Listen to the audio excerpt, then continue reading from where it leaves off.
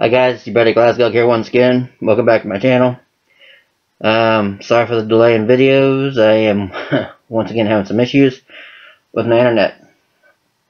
Um, it's not really the company's fault. Um, I've never had a problem with the company, with the one I use. And they've been attempting to repair it. Um, so, hopefully we fix this after this coming weekend. Um, and everything get, can get back to normal.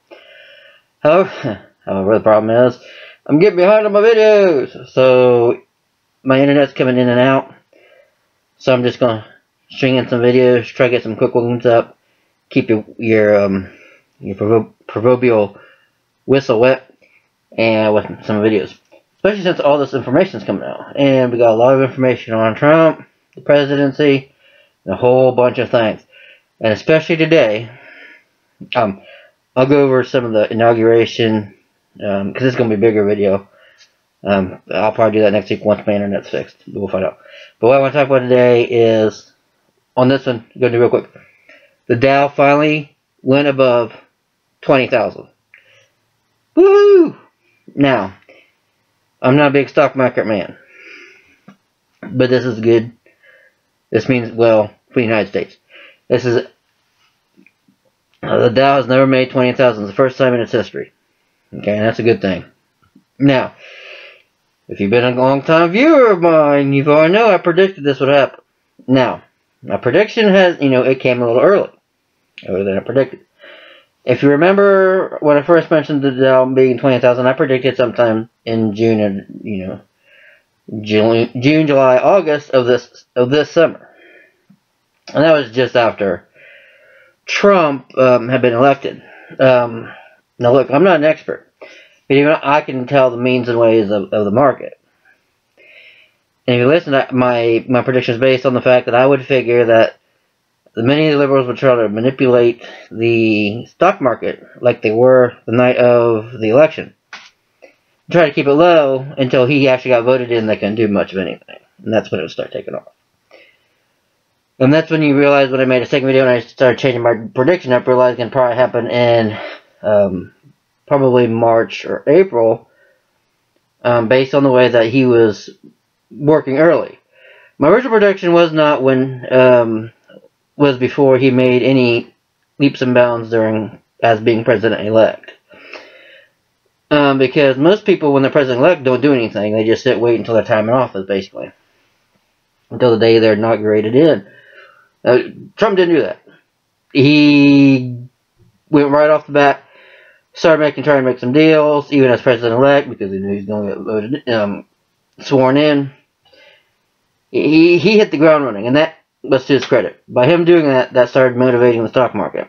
We've seen it hit over 19,000, um, which again, I don't, it hadn't done for I don't think ever. And then we started getting close to 20,000, and then it backed off. And there was that play where you have the buy, sell, buy, sell, and that's what affects the market. So, and of course, and there's nothing wrong with that. When it goes high, you want to sell sometimes. Because you want to make your money back, you want to get your investment. And that starts dropping the market back again. Then once more investing comes in, it goes up. Uh, the stock market is a very um, fluctuating roller coaster thing. That's why I say don't always invest too much into a stock market.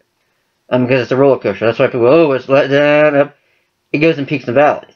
That's a natural thing. I've done that since high school. That's why I, have always said you never should really build your economy around it. Um, but this is a good thing. It shows that people are wanting to invest in the economy. It shows that, um, especially once companies started saying, we want to put jobs here in America. We want to build here in America. We want to invest in American companies. That drove stock prices up. And that and that's why when I said, after he got sworn in, which was not too long ago, last Friday, in fact, on the 20th, this is only the this is 20th. This is only his fifth day as president, and actually only the third full business day of him being president. And the stock market just keep going up, keep going up, because he's um, adhering to his uh, campaign promises. He's working with businesses. He's saying, oh, we're going to lower the corporate, corporate rate tax. We're going to lower regulations. And that means jobs. That means people are going to invest. That's what you want. And that's why it's going up.